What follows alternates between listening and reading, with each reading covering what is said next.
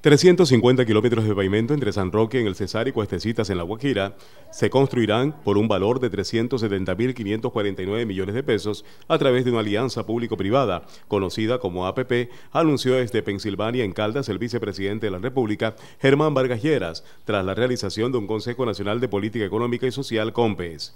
Este corredor, que tendrá una longitud de 350.3 kilómetros, se realizará con una inversión de 370.549 millones de pesos. Igualmente prevé la construcción de 5.6 kilómetros de doble calzada, señaló el vicepresidente Vargas Lleras.